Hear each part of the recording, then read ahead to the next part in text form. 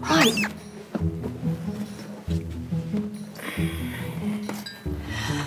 Right, where were we? There's a new head teacher at Moordale Secondary, hoping to change the reputation of a so called sex school. Now we're going to watch a video of me giving birth. She demoted Jackson and made Viv head girl, but her rebrands didn't go quite to plan. Otis got together with Ruby, and they went on a double date with Eric and Adam. I watched the Kardashians with my mum. Well, well, well. But then they broke up when Otis couldn't tell Ruby he loved her back. I love you. That's nice.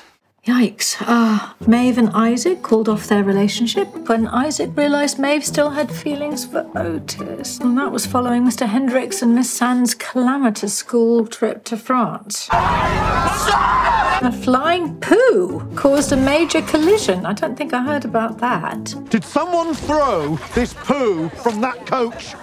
Boy, if it was me. Huh? It's not you, Jackson. I poo all the time. Someone own up, please. Just a tube. Otis and Maeve got left behind at a service station. Yes, they did. What did it say? The voicemail. Eric tried to reconcile his queer and cultural identities on a family trip to Nigeria, but ended up kissing someone else. Gosh, that can happen. Back home, he broke up with Adam when he realised that they were in different places. That's so sad. I thought they made such a good couple, and Adam's poem. A boy I don't like told me to write from the heart.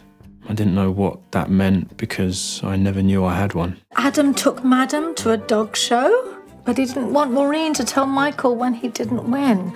Well, I don't blame him. Michael Groff might actually be the most repressed man I've ever encountered in my entire life or career. Amy was struggling to be intimate with Steve after she was assaulted, and she realised that she needed to be on her own for a bit, which I think was a very good call. Yes, and Maeve and Otis finally admitted they had feelings for each other, but then Maeve was accepted into the Gifted and Talented International Programme and left to study in the States. Well, go girl.